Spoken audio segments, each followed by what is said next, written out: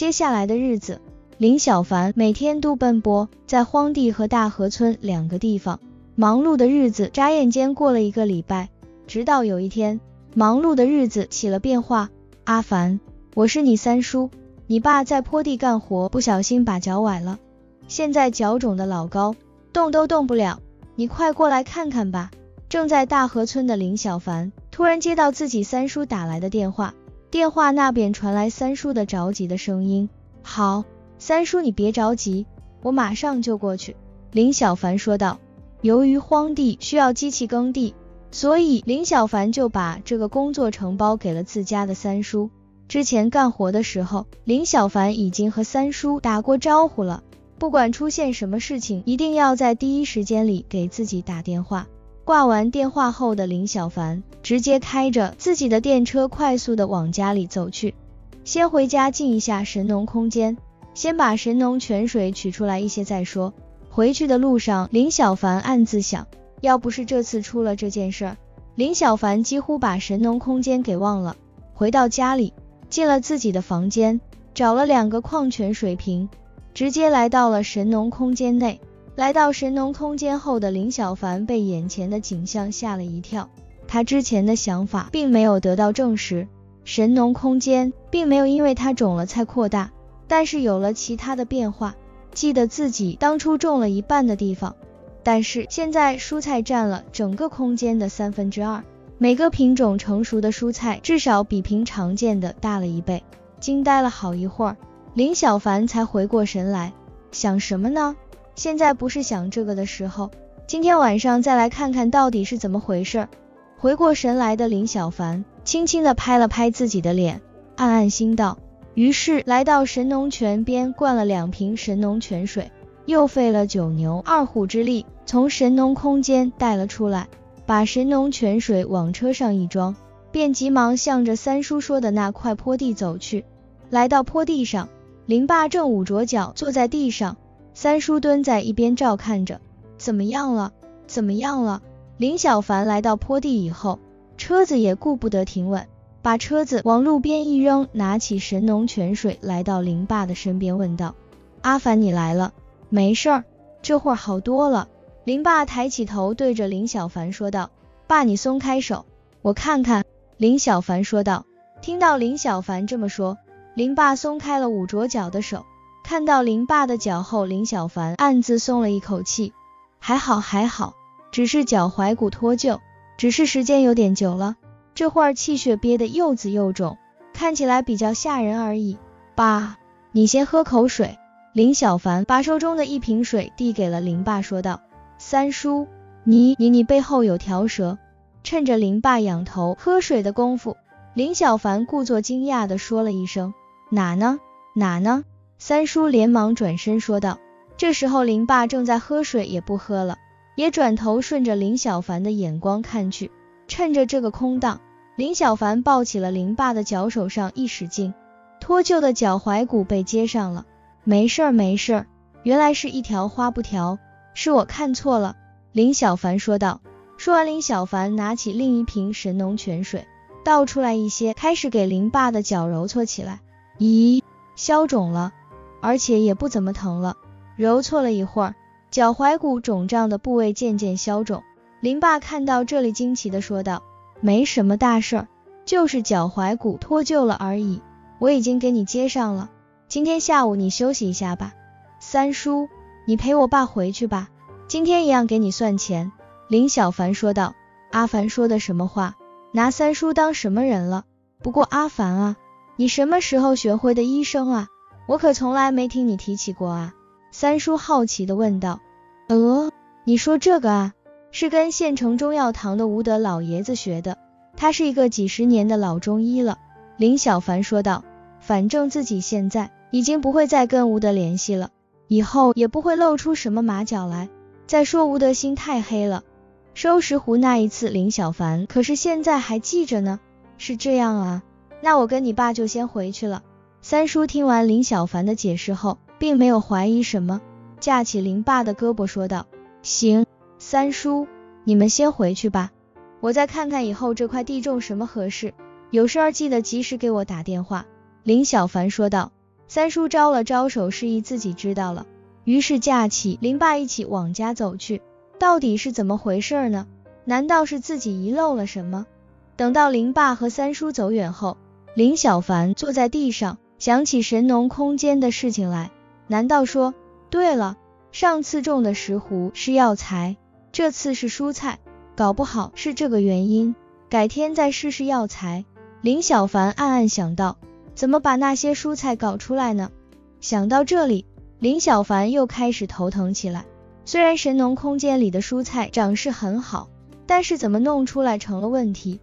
正在林小凡苦恼之际，电话却又响了起来。林小凡拿起来一看，这次是韩云云的电话。你赶紧回来一趟，我在村委会等你，有急事儿跟你商量。接通电话后，韩云云说了一句，马上又挂掉了。又出什么事儿了？林小凡边想边急忙往回赶去。你可回来了？你这边进行到哪一步了？见到林小凡回来后，韩云云问道。现在荒地上基本已经全部清理好，耕作也进行了一半，不出意外的话，下个礼拜一之前能全部种好。怎么了？又出什么事儿了？林小凡问道。新农村计划提前了，比预计的提前一个礼拜公开。韩云云说道。那怎么办？我们所有的计划都是一步一步来的。你觉得还能再快吗？林小凡说道。自从上次李东让他把所有的事情都做一个计划后，林小凡现在才知道李东说的好处。至少最近一个礼拜，虽然忙，但是所有的事情都是按照计划来，忙而不乱。能，我的想法是，耕作的事情不能只让你三叔自己来，要再找两个人，算上今天，尽量在三天之内全部耕种好。争取在之后半个月之内长成，韩云云说道。这样的话，时间上不但有点紧，而且开销上也比预计的高。林小凡说道。那没办法，如果三水村入选不了新农村，我们这么久的努力都白费了。韩云云说道。那好，我这边尽量赶赶。你那边怎么样了？林小凡问道。我这边计划肯定也要变了，不过还好。当初你谈的价格比较好，如果不出什么意外的话，这次比我们预计的要翻个倍了。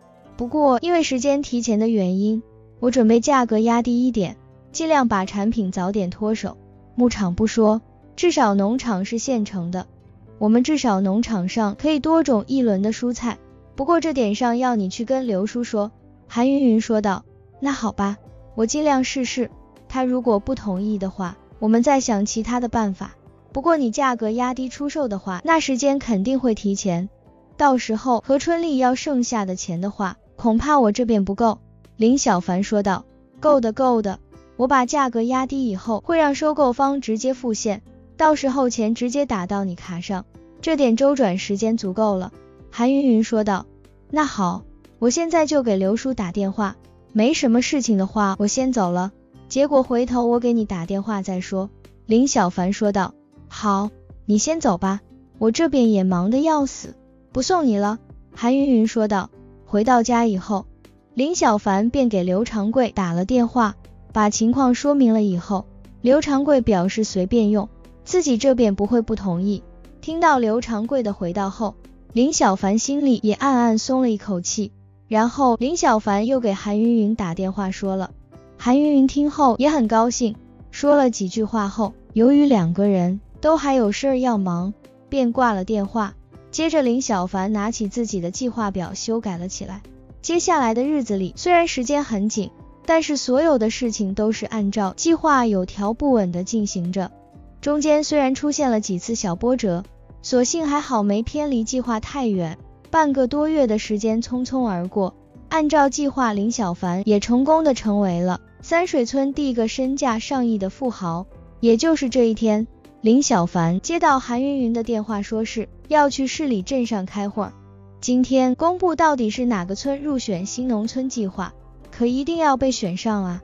林小凡在家里暗暗祈祷道：这近一个月来，他和韩云云两个人为了这事儿付出多大的努力，可能别人不是太清楚，但他心里却是最清楚不过了。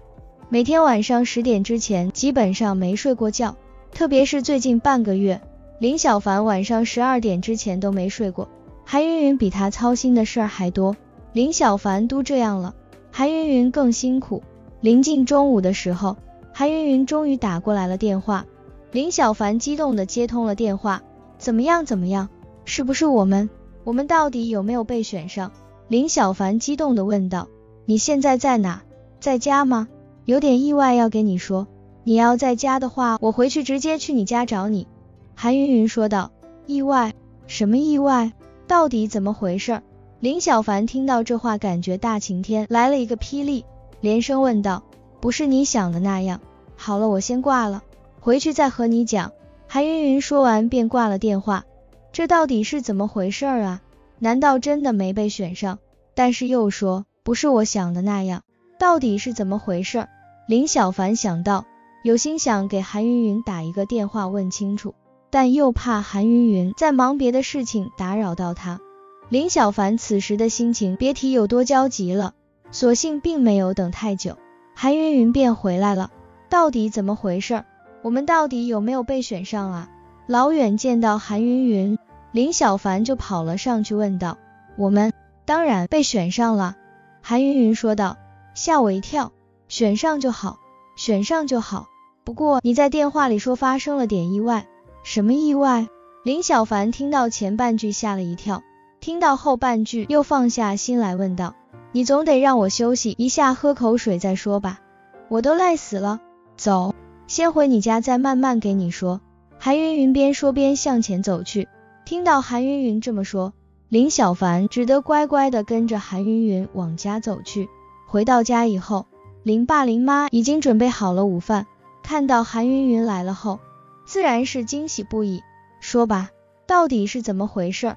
吃过午饭后，林小凡便把韩云云叫到了房间，问道：“你这什么急啊？我又没说不告诉你。”韩云云坐在床上说道：“好了好了，告诉你就是了。本来还想逗逗你的，看你那一脸不耐烦的样子。”韩云云看到林小凡确实着急了，于是又说道：“于是韩云云便把开完会后的事情说了出来。”原来开完会后，镇长被纪委直接带走了。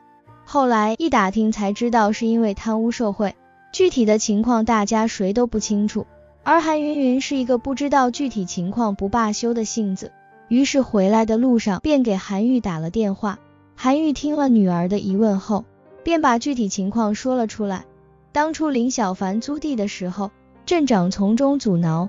是因为隔壁大柳树村柳成才给了镇长一大笔钱，让他从中作梗。新农村这件事情，不只是只有韩云云才有路子提前知道。韩云云既然能提前知道，柳成才自然也有属于他的关系提前知道。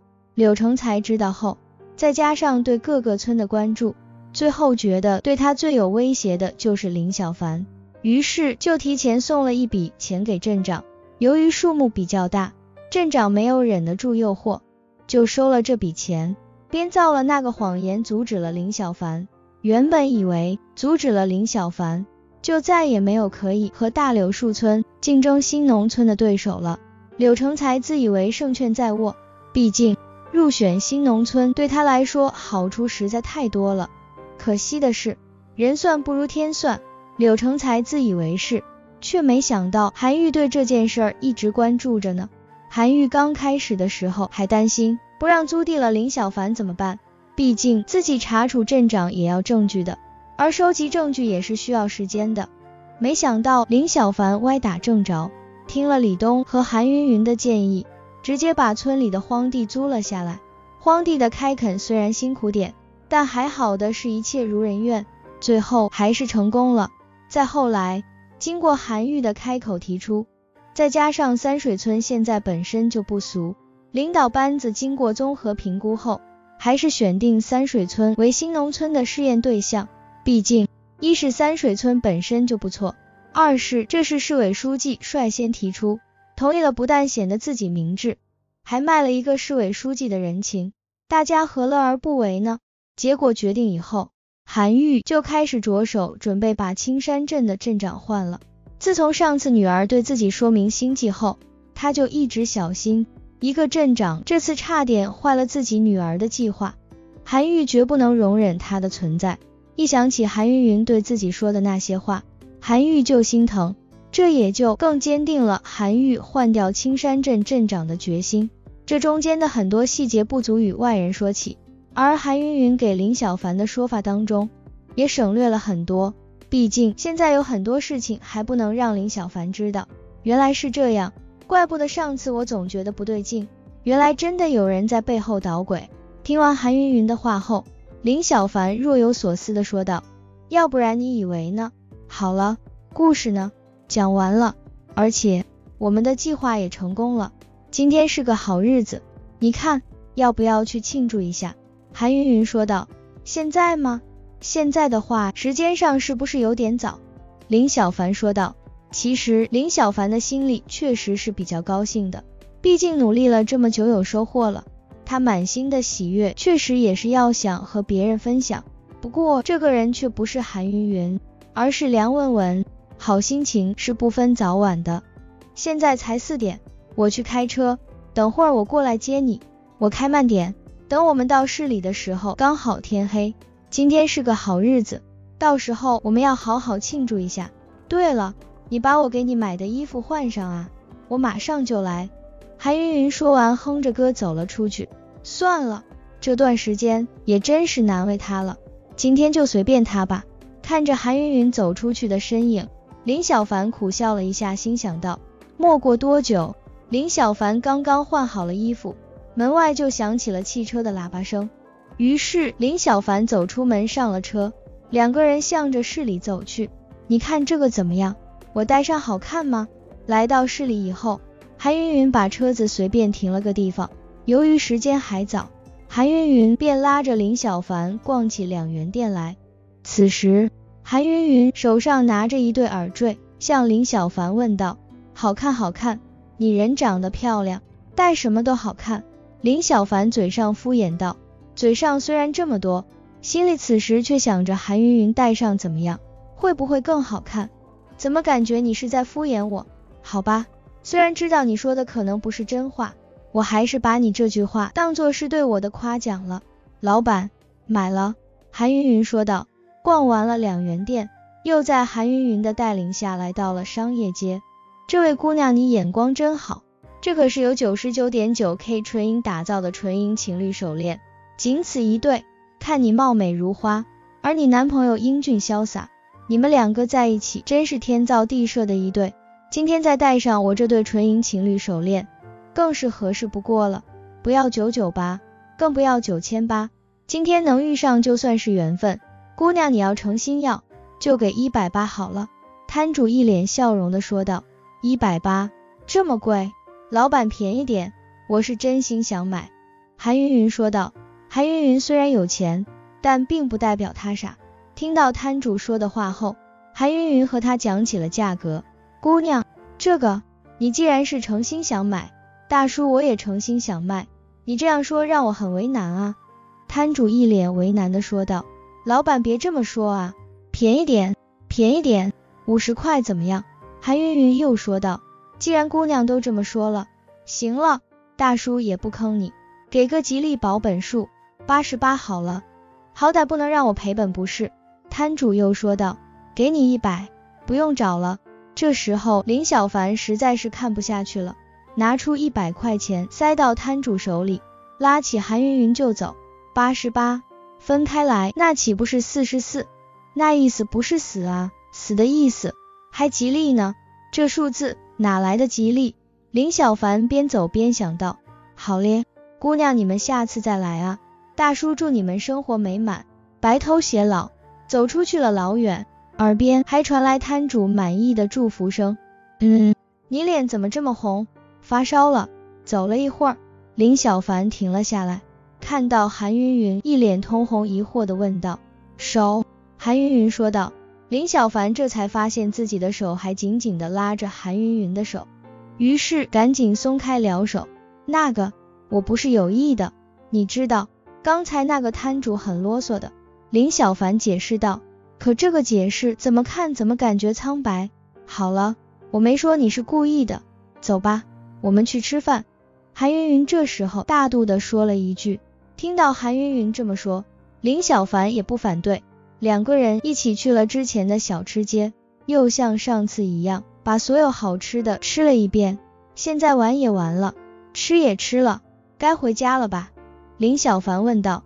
现在时间还早，那么着急回去干什么？走，我们去唱歌。韩云云说道。于是，在韩云云的带领下，两个人又一起去了夜总会，开了一间小包，要了几个果盘小吃。唱到一半的时候，也许是这段时间的压力太大，也许是心里压抑了太多事儿，需要发泄。韩云云又要了一箱啤酒喝了起来。临到结尾的时候，韩云云却突然哭了起来。韩云云这一哭，剩下林小凡不知所措，懵了一会儿，也不知道自己到底哪一点做错了。只得坐到韩云云的身边，轻声安慰起来：“林小凡，你是个大笨蛋，你知不知道我为什么难过？是因为我喜欢你啊！这么久了，你是真不知道还是假不知道？我喜欢你啊，大笨蛋！我喜欢你，已经很久很久，从第一次见面我就喜欢上了你。我喜欢你笑，可你在我面前却很少笑。我故意闹，我以为我的心思你早晚会知道。”可你从来都是一副不知道的样子，我说不上你哪里好哪里不好，可我就是忘不了你。韩云云一条一条的说着，林小凡从最开始的吃惊到慢慢的沉默，这么久了，他不是没有想过韩云云跟自己走这么近是因为喜欢自己，而是他想过却不相信，许是自卑，在他眼里，韩云云有身份有地位有本事，他想自己配不上他，而且他也不会看上自己。可韩云云今天晚上这一番话，却打破了他这么久以来的自欺欺人。韩云云确实是喜欢他的，可是他却不敢做出任何回应，因为他有了梁文文。今天晚上无论做出哪种回应，都注定会伤一个女人的心。既然不想回答，那就也喝吧。林小凡想借着酒精麻醉自己，逃避这件事儿。可是直到喝完最后一瓶酒。才发现自己越喝越清醒，越喝越难受。好了，别喝了，我找的代驾来了，我们回家吧。我知道你可能现在无法给我回答，我并不奢求你能爱我，但是今天你知道我，我爱你，这就够了。不知道什么时候，韩云云已经停止了哭泣，红着眼睛说道。林小凡看着韩云云哭红的眼睛，清瘦的脸庞透露着一丝疲惫。想想这些日子为了帮自己操了不少的心，想到这里，林小凡张了张嘴想说些什么，终究还是什么都没说出口。一路上，两个人各自怀着心事，一句话都没讲。我一直都知道梁文文是你女朋友，我明天早上就要走了。如果你爱她，以后就好好的对她吧。到林小凡家门口的时候，韩云云突然说出了这句话，我。林小凡抬了抬手，面对着韩云云，想说些什么，最终又还是什么都没有说出口，转身向自己家里走去。回到房间，林小凡感觉自己整个人像是虚脱了一样，脑袋像炸裂了一样，各种难受，难受了好久，不知道什么时候在迷迷糊糊中睡着了。谢谢你救了我啊！本来是我请你吃饭的，这下成了你请我吃饭，多不好意思。林小凡，你这个大笨蛋！我不奢求你能爱我，但是今天你知道我是爱你的，这就足够。我明天早上就要走了，如果你爱他，以后就好好的对他吧。一幕幕在林小凡的眼前像电影一样出现，有欢笑，有喜乐，也有哀愁。从最初的相识，知道韩云云说的最后一句话，最后直到韩云云上了车远去。林小凡望着远去的车子，疼痛像撕裂一般撕扯着自己的心。自己是真的不爱吗？我走了，我走了，我走了。突然间，眼前又出现了韩云云的脸和声音。不要走，不要走。这时，林小凡伸出了手，准备去抓韩云云，却发现就差一点点的距离，却怎么也抓不到。砰的一声，林小凡从床上掉了下来。这时，林小凡才发现自己是做了一场梦，摸了摸满脸的泪水，才发现自己泪流满面。看了看表，才早上六点，算了下时间，才睡了四个小时多一点，想到梦里的那些场景，想到自己的心，才发现原来自己是爱着韩云云的，爱一直都在，只是一直以来自己不敢承认而已。想到这里，林小凡做了一个决定，也不洗漱了。林小凡直接跑了出去，千万一定要来得及啊！林小凡边跑边想，他决定了，他要去挽留韩云云，他要跟韩云云说明自己的心思。不到五分钟，林小凡便跑到了村口，村口并没有见到韩云云的影子，于是林小凡又直接转身跑回村里，向着韩云云住的地方跑去。云云，云云，你在家吗？在家你就开门啊！我有话要跟你说，林小凡边敲门边说道。可是，一直敲了几分钟，一直不见有人应。真的走了吗？看来自己真的是一个让人伤心的混蛋啊！林小凡抓着头发，靠着门边，一屁股坐在地上，失落的想到：哎，你坐在地上干嘛？我说，开了门怎么看不见人？原来人坐在地上了。就在林小凡自言自语、自怨自艾时，门突然打开了。韩云云站在门后边说道：“太好了，太好了，你没走真的是太好了。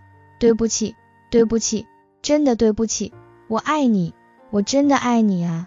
林小凡见到是韩云云，刚开始有点不敢相信自己的眼睛，呆了一下，立马冲上了前，紧紧的抱着韩云云说道：“我当然还没走啊，现在才六点，我走那么早干嘛？”韩云云说道：“我还以为你走了。”我爱你，你不要走了好不好？林小凡红着眼睛说道。怎么了？现在良心发现了？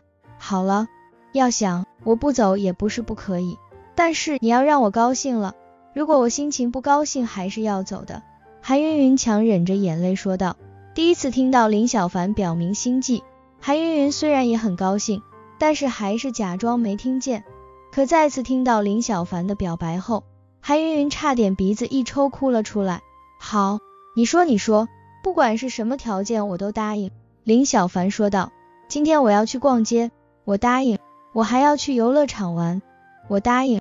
今天晚上我还要吃好多好多好吃的，我答应。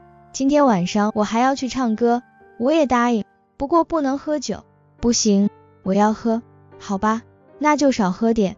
说了一大堆，最后在韩云云说了一句。既然都答应了，还不赶紧回家换衣服吃早饭的话下，林小凡立马往家走去。就在林小凡转身走后，韩云云拨通了韩愈的电话，爸，他对我表白了。就在刚才，韩云云高兴的说道：“这就好，这就好，老爸祝福你们啊。”韩愈在电话那头说道。眼看着女儿解开了一个心结，韩愈也是由衷的替女儿高兴，谢谢老爸的祝福。不过，新农村计划什么时候开始实行啊？韩云云说道。这个还早呢，我估计至少要年后了吧。毕竟再有一个多月就要过农历年了。说起来这个，今年过年你不回去吗？你爷爷上个星期可还是打电话向我问起你的。韩愈说道。不知道呢，可能不回去吧。你知道，我回去的话又要被他们催了。我最讨厌的就是这个了。一群老顽固，韩云云气恼的说道。可不能这么说，再怎么说他们也是你的长辈。不过，对于你和林小凡的事儿，家里暂时也只有我知道。你知道老爸的看法，只要你过得幸福，老爸这边是不反对的。不过，老爸这边一个人支持也没用，具体的还要看你们自己。韩愈说道。知道。不过，老爸，这件事儿你可不能跟家里人说，要不然的话。以后我再也不理你了。”韩云云威胁的说道。“好，好，好，不过乖女儿，你可要当心点，别吃亏了。就是，年轻人别那么早同居。”韩愈仔细斟酌了一下语言，说道：“老爸，你说什么呢？不理你了。好了，不跟你说了。待会儿我还要逛街，先挂了。”韩云云说道。“好，好，好，挂吧，挂吧。待会儿我这边也要忙起来了。”韩愈说道。韩愈对于女儿有什么事情，在第一时间给自己说，这点上还是蛮骄傲的。在家里，他地位最低，可在女儿这里，自己的地位就变成最高了。挂完电话后，韩云云开始洗漱起来。而林小凡这边也回到了家。阿凡，这大早上的你上哪去了？看你这身上脏兮兮的，在哪弄这么泥土？林小凡回到家后，林妈看着林小凡身上的泥土说道：“没事儿，没事儿，刚才不小心摔了一跤而已。”嘿嘿，林小凡嘿嘿一笑说道。回到房间，洗漱了一下，换好衣服后，一身整整齐齐的样子。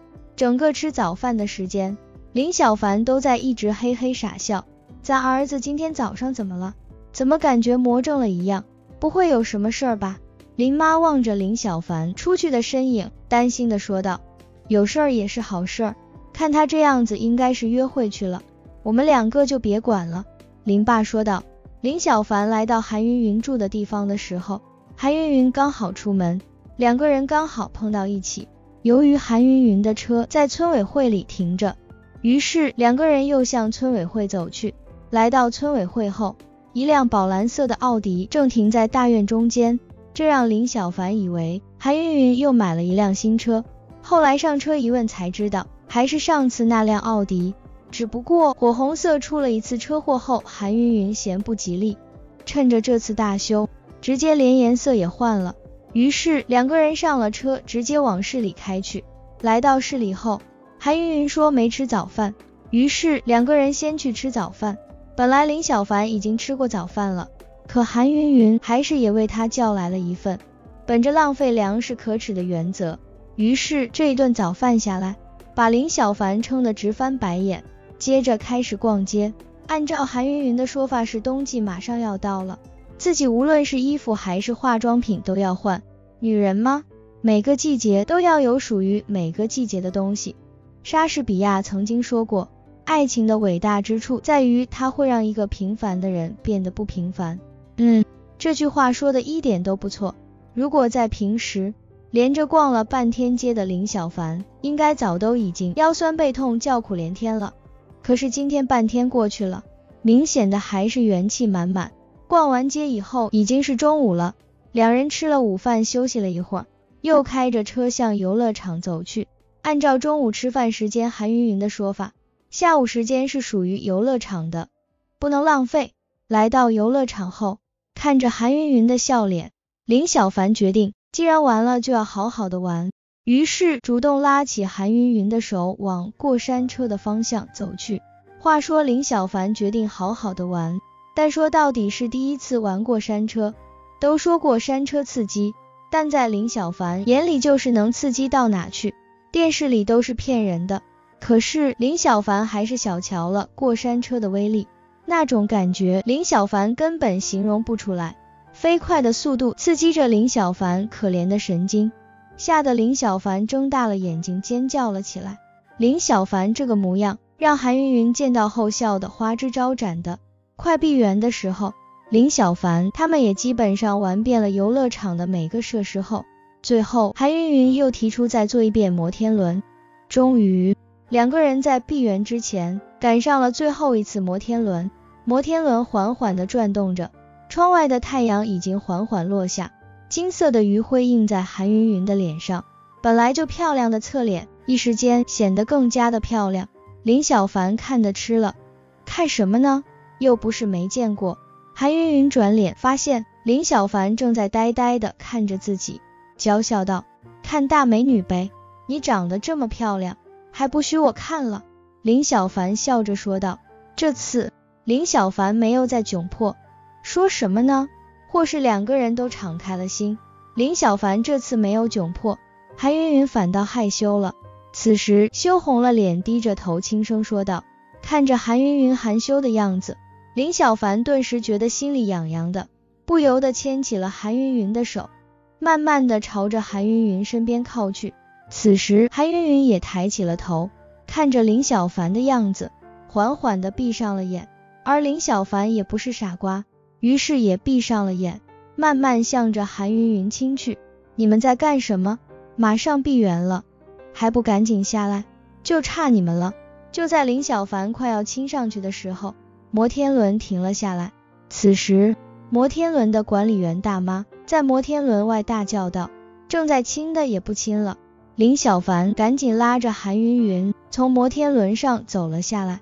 此时林小凡还好一点，韩云云就不一样了，像一个犯了错被抓到的孩子一样，满脸通红欲滴。直到走出游乐园好久，情况才渐渐好点。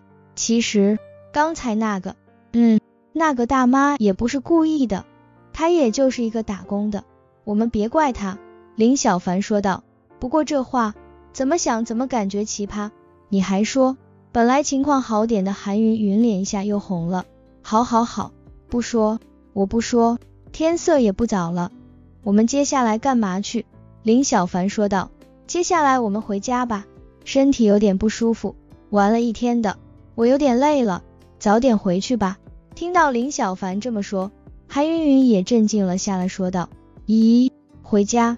你不是说还要逛夜市唱歌的吗？”林小凡诧异的说道：“其实是林小凡自己想去唱歌。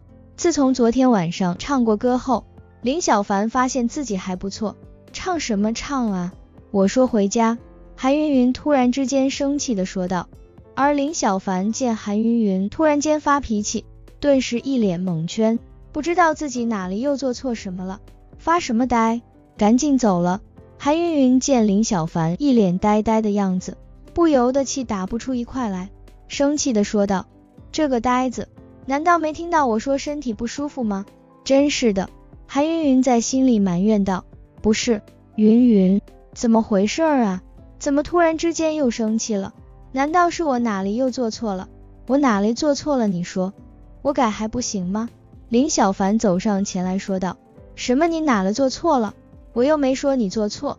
刚才你没听到我说的话吗？我身体不舒服。韩云云气恼的说道。不舒服？怎么了？是不是吃什么吃坏了肚子？要不我们先去看看医生吧，也不差这点时间。我们先去医院吧。林小凡一脸紧张的说道：“去什么去啊？我发现，我发现你这人怎么这样啊？我大姨妈来了，这总行了吧？”林小凡，你个大笨蛋！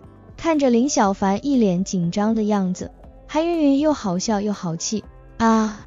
你家亲戚来了？什么时候来的？也没见你接电话啊！懂了，我懂了，我们回家，我们回家，呵呵。林小凡刚开始还没反应过来，后来一下子反应过来了，赶忙尴尬的呵呵一笑，道：“这下可把韩云云气坏了。”一路上，无论林小凡怎么解释求饶都不行。韩云云虽然心里早就不在意了，但是嘴上还是忍住一句话都没说：“云云啊，我真不是故意的，你就饶了我吧，别不理我啊。”回到家，林小凡在下车的时候苦着脸说道。傻瓜，我早就不生气了，赶紧回去吧。”韩云云说道。“啊，早就不生气了，那为什么这一路上还一直是生气的样子，不理我啊？”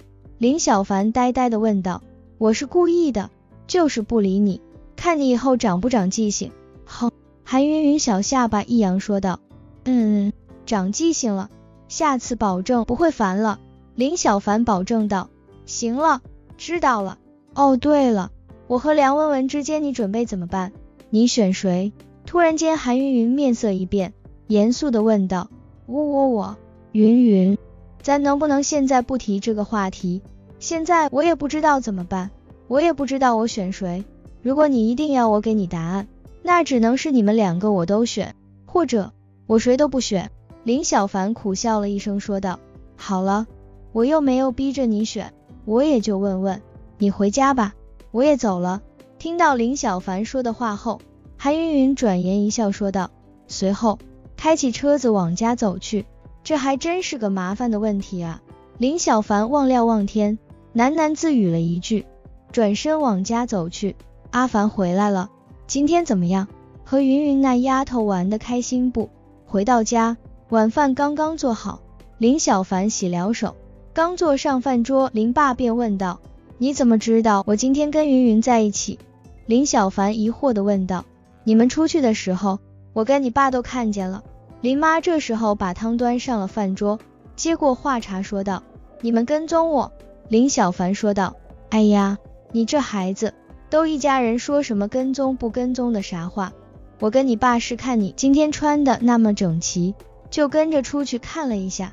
本来以为这么久你都没找文文，是去找文文。”没想到你是找云云那丫头了。林妈说道。那不还是跟踪吗？林小凡听完林妈的解释，有些哭笑不得。再重申一遍，我跟你妈只是跟着去看了一下，不是跟踪。跟踪的话，现在我们都不会跟你说了。我们这是关心。林爸说道。好吧，不是跟踪，是父母对自己的关心。也是，跟踪的话就不会跟自己说了。林小凡在心里暗暗安慰自己，其实云云那丫头也是挺不错的。他爸，我说的没错吧？林妈有意无意的说道。嗯，没错。话是没错，但说起来，温温那丫头也不差，两个人都是一样的优秀。林爸接过话后说道：“爸妈，你们想说什么就直接说吧，就像你们说的，都是一家人，不用这么拐弯抹角的。”林小凡实在不想再听自己爸妈一唱一和，直接说道：“那他们两个之间你选谁？”林爸林妈听到自己儿子这么说，对视了一眼，异口同声的同时问道。怎么又是这个问题啊？我说你们都这么大的人了，问这话你们无聊不无聊啊？林小凡说道。别说那些没用的，说你打算选哪个？林爸林妈又同时问道。这这我也不知道啊，我和云云只是普通朋友，虽然以后有可能，但现在不还是普通朋友吗？林小凡试图遮掩，别问了，看来咱们儿子今天是不会说的。嗨，儿子，要我说，两个一起娶了就行了，也不用烦恼娶哪个。反正云云和文文他们两个，我跟你妈都很满意。身为男人，你干脆一点，两个一起都娶回家算了。林爸坏坏的笑着说：“不许吃，怎么着？娶了我后悔了是吧？那你怎么不娶你那相好的啊？当初怎么就娶了我啊？就凭你说的这些话，今天晚上不准吃饭。”林妈听了林爸说的话后，夺走了林爸的筷子，生气的说道。林小凡对自己父母的行为感到一阵的无语，自己老爸以前挺好的啊，是什么时候开始变得这么无量的？对于自己母亲说的那些事儿，自己也是知道一些的。自己老爸年轻的时候长得还是蛮帅的，而且上学的时候有一个从小在一起长大的青梅竹马。老爸一直以为自己会和他的青梅竹马白头偕老，可惜的是后来别人给他介绍了自己的老妈，老妈那时候也是年轻漂亮，在后来选择中，老爸两个都不想放弃，但那时候老一辈卡的严啊，必须选择一个，老爸就选择了他的青梅竹马。可惜的是，在自己爷爷一顿鞭子和谐的教育下，老爸还是娶了老妈。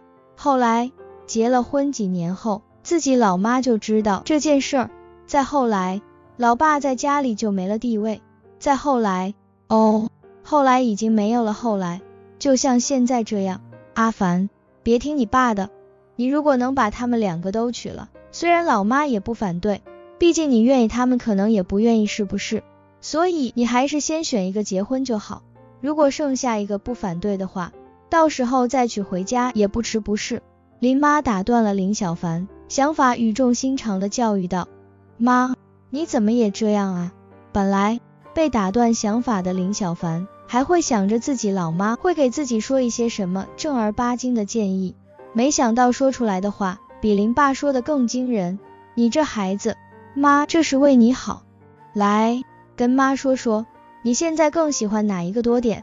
林妈凑近身子问道。林妈这个举动。